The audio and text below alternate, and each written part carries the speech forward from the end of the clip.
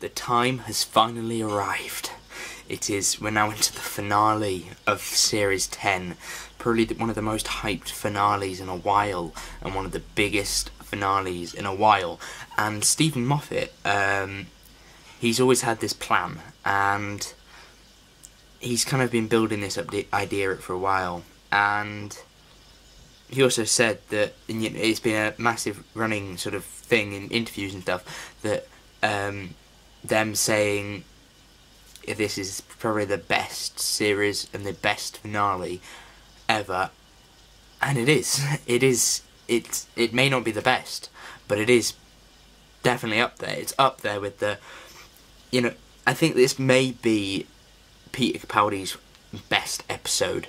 His acting and everything in this episode is so brilliant, as well as everybody else. Their acting is just great. Um, the reveals at the end.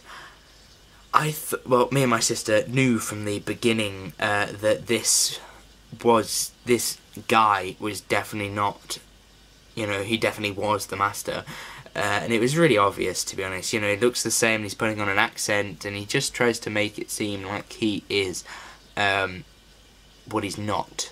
But what I do admire about this is the fact that instead of revealing who, you know, that, you know, because if you, uh, there's a scene, uh, when they were filming that scene when they go outside, uh, for example, um, you saw that he was running, he was walking with Bill, uh, and it is likely that somebody may have seen him, you know, John Simm taking off the prosthetics or whatever, if it even was him, it may it might not have been, but if it was him, kudos, you know, you did well, uh, and trying to disguise that, so well done, uh, BBC. Um, uh, there was a point in this episode when I thought Missy was going to go bad again. That just messes up what they've been setting up this entire series. They've been setting up her going good. And then for her to change from to being bad is in a matter of minutes is really really not good. Um, I'm sorry, but the only thing I really want to talk about is the finale. Uh, is the final trailer, but I'm not going to talk about that today. So um, we see. Let, let's let's start from the beginning. So we see that the Doctor is regenerating. Oh my God! What a brilliant start to an episode. You know he is you know it's going to happen, but you don't know when it's going to happen. It's probably going to happen next week, even though it probably should happen in the Christmas special. Uh, I'm speaking too fast. In the Christmas special, but that was brilliant. Well done. Oh my! I think that's brilliant. That was such a great episode. Uh, I can't. I'm, i know I'm the worst reviewer here. Just going. That was brilliant the entire time, but it really was. Uh, and I loved the black hole and the CGI in this episode is beautiful. It's like a movie. Not a great movie, but it, it looks like a movie. It looks like a movie CGI budget. You know, obviously there's a little bit less than that because you know it's BBC and they don't really have the budget that you know Marvel or whatever has, uh, Marvel Disney or whatever has. So they work with what they have, and it looks great for what they use. I'm really interested to see how they made that effect and how it was different to other times. Um, Bill's getting shot then. Uh, Bill's gets shot by this blue guy who we'll talk about in a minute. Um, that was some brilliant, you know, work and cutting out that uh, that bit of a stomach here. Um, I do think that they tried to make it a little bit PG and just remove, you know, the everything. Uh, you know, no blood. You you didn't really have to make it so cartoonish. You could have just added the bit of blood here or something. You know, there was no need to make a hole. Um, unless obviously a pit pops up next week. Um, the entire episode revolves on this brilliant, well, really, really brilliant uh, idea. What was I talking about? Oh yeah, building a massive hole.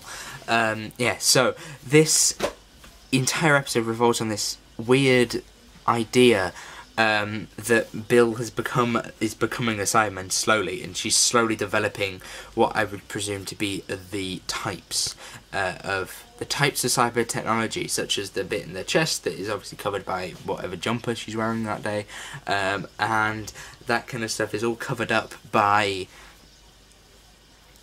just great, you know, filmmaking. I think that when we see her at the end and she's become a Cyberman, well, it was quite obvious that it was going to happen, um, but it had a good payoff. Yeah, let's go with that. Um, I, yeah, so I do like I, I was when I saw that she was standing that there was something standing there. I kind of knew that she was a Cyberman, and then she came out, even though that it didn't make sense because they must have made her a Cyberman really quickly. Because don't didn't didn't he say that it they're like development stages and they're working in progress. They built her quite quickly. Anyway, um, I like that she was saying that I I waited, and the eye the the eye shot when the tear comes out of the eye and it comes out the side of my eye as well. That that's that's pretty brilliant. Um, the only problem that I have with this episode is very predictable we were able to guess exactly what was going to happen. Uh, you know, I kind of there was a massive theory that you know this would happen. There was a huge, huge theory that Bill was going to become a Cyberman.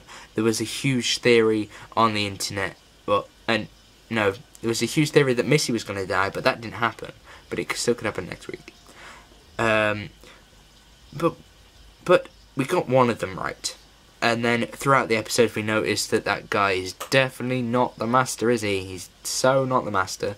And we noticed that as well. But I would really think that this this episode may be my favourite of Series 10. I know it's not much to say basing on one part, but if this second part is good, it is my favourite episode of Series 10. Wow, um, I'm really looking forward to next week. Obviously, being my What We Know So Far video, and I'm doing a trailer analysis that I'm planning on it to do for next series. Um, but I'm trying it out, and I'm doing a massive trailer analysis, uh, looking at the trailer for next week. Um, yeah, thank you guys for watching. This has been DAJ Studios. Hopefully, you enjoyed this video. If you did, make sure you give it a like. I might be smiling for the next seven hours, by the way, um, just to warn you just like this all the time. If you like to see me somewhere, it's just um yeah. Thank you guys for watching. This has been Studios. Goodbye.